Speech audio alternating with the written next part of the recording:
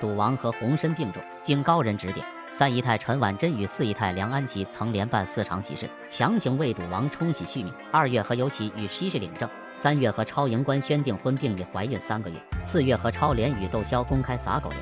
五月和尤军成功求婚超模奚梦瑶，其精彩程度丝毫不差当年李嘉诚为亡妻盖庄月明楼，强行为自己逆天改命。而这位高人就是于志林。二零零九年赌王曾撞到头部被送进 ICU。何家动用所有人脉关系，请专家治疗，即便每天花费数千万医药费，可赌王却依旧不省人事。所有人都认为赌王这次命数已尽。正所谓行家一出手就知有没有。于志林为何红参重生机后，赌王竟奇迹般痊愈？转眼一晃就是十年。二零一九年，赌王再次病危，每天靠打着八十六万天价补脑针强行续命。何家再次想到于志林拿六百万请他出山，效仿诸葛亮点七星灯为赌王续命，但这次于志林却毫不犹豫地拒绝了。